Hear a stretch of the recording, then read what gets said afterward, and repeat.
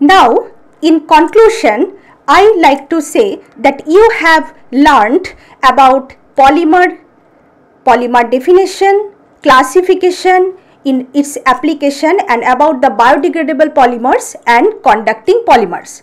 So, you will be able to define polymers, homopolymer, copolymer and you are able to distinguish between addition polymerization, condensation polymerization, thermoplastic polymer and thermosetting polymer.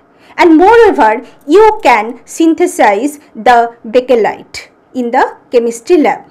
So I have I hope that you have gone through the entire content I have given and I have also given uploaded the assignments for you. So try to solve all assignments. If you have any problem, you contact me.